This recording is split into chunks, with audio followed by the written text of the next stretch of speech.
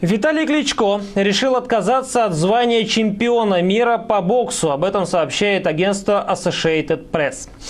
По его данным, Кличко уходит из большого бокса, чтобы сфокусировать все свое внимание на украинской политике. Боксер возглавляет оппозиционную партию «Удар».